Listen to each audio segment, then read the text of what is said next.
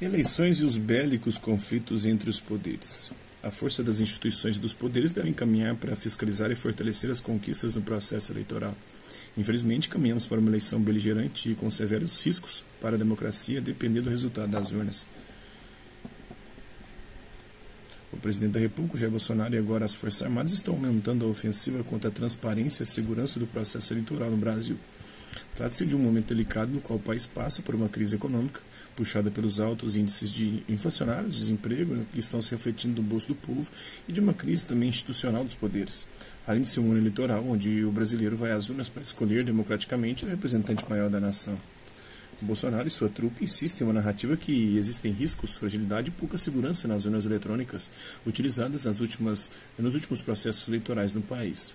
Agora, as Forças Armadas enviaram 88 questionamentos ao Tribunal Superior Eleitoral, TSE, nos últimos oito meses, o que reproduz, de certa forma, as bravatas e os discursos do atual presidente de que as urnas não são seguras e colocando sob suspeita a atuação da Corte Superior Eleitoral dos seus ministros.